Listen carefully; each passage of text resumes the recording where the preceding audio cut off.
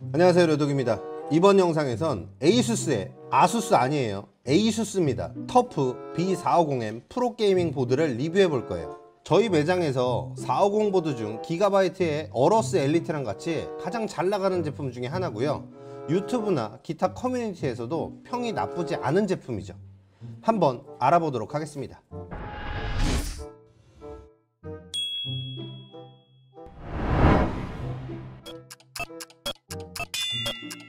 일단 보드는 Micro ATX와 ATX 규격 두 가지 종류로 나오는데요. ATX는 가격적인 면에서 약간은 애매하니까 판매량도 더 높은 Micro ATX 보드 기준으로 알아볼게요. 일단 보드를 딱 쥐었을 때 Micro ATX 보드 치고는 확실히 단단한 느낌이 있어요. 묵직하다고 말하는 것도 맞겠네요. TUF 이름값 제대로 합니다. 왜 묵직한지 살펴보자면 아무래도 이 거대한 heatsink 때문이 아닐까 싶은데요.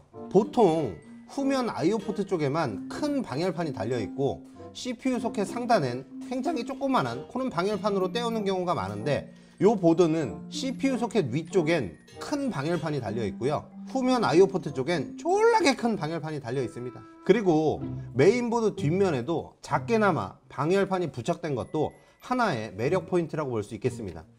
칩셋 쪽에도 TUF 로고가 박힌 작은 방열판이 부착되어 있어요 램 슬롯은 4개고요. M.2 슬롯은 총 2개입니다. 상단 M.2 슬롯은 정상적인 NVMe 속도를 지원하고요. 하단 M.2 슬롯은 4배속이 아닌 2배속이라서 대역폭이 딱 절반으로 줄어든다는 점 참고해주세요. SATA 포트는 총 6개입니다 다만 M.2 1번 사용 시 5번, 6번이 M.2 2번 사용 시 3번, 4번이 비활성화되니까 M.2 슬롯을 사용하신다면 실제 사용 가능한 포트는 2개로 줄어들어요.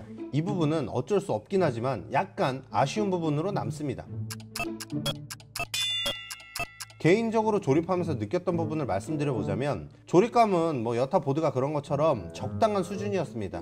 하지만 그래픽카드 슬롯 위에 PCI 1배속 단자가 있어서 CPU 쿨러와 그래픽카드 사이에 간격 확보가 되고 조립 시 문제가 생기거나 했을 때 탈거하기가 굉장히 수월했어요. 그리고 S830 같은 케이스에 조립을 할때 수랭 쿨러까지 달린다. 이러면 메인보드에 4핀 단자가 부족해서 선을 막 이상하게 빼야 한다던가 그런 경우가 있었는데 이 제품은 AIO 펌프 단자, CPU 펜, CPU 옵션 펜 단자까지 총 3개의 4핀 단자를 지원을 하고요. 그중 2개는 보통 CPU 펜 단자가 있는 곳에 붙어 있다 보니까 특정 경우에 다른 보드들보다 조립이 편한 점은 있었습니다. 그리고 정말 큰 장점은 전원부 온도가 이상하리만큼 낮은데 이 부분은 매번 참 신기해요. 저희가 테스트하면서도 왜 이렇게 낮은지 모르겠어요. 그럼 이 보드는 단점이 없냐? 그건 아닙니다. 450 칩셋 보드 중에서 얘보다 확실히 우위라고 평가받는 제품이 하나 있어요.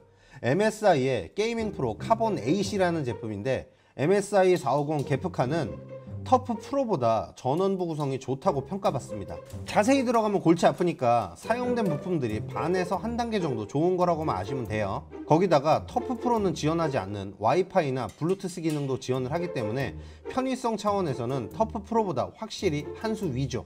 이제 제가 말씀드리고 싶은 게 뭐냐면 가격입니다 6개월 전만 해도 터프 프로가 약 11만원대 게프카가 14만원 정도로 했던 걸로 나오는데 지금은 터프 프로가 14만원 게프카가 16만원으로 둘 다 가격이 엄청 올랐어요. 10만원대 초반 정도면 터프 프로보드의 경쟁력이 확실히 좋은 건 맞는데 슬슬 10만원대 중반으로 넘어오기 시작하면 확장성이 더 좋은 ATX 보드가 눈에 들어오거든요.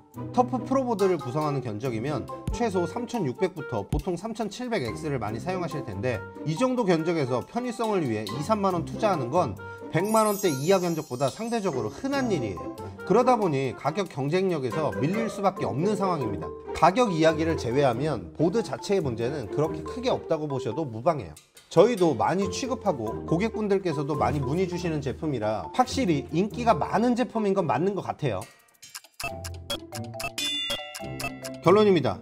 450M TUF PRO 보드는 두 개의 거대한 전원부 방열판이 특징인 제품으로 TUF라는 이름에 맞게 굉장히 묵직하고 단단한 인상을 주기에 충분해 보입니다 다만 M.2 SSD 두 개를 사용하면 6개의 SATA 포트 중 4개가 비활성화된다는 점은 확장성에 있어서 큰 아쉬움으로 남아요 무엇보다도 상황이 상황이다 보니 큰 폭으로 오른 가격이 이 제품의 구매를 강력히 권해드리기 어려운 가장 큰 이유라고 말씀드리고 싶습니다. 하지만 괜히 인기 있는 건 아니죠. 확실히 괜찮은 제품이고요. 견적 구성하실 때 이거 넣으면 최소 평타는 친다는 거 아시겠어요? 이번 영상은 여기까지 하고요. 영상이 마음에 드셨다면 구독과 좋아요, 알림 설정 부탁드리고요. 다음 영상에서 다시 만나요. 안녕.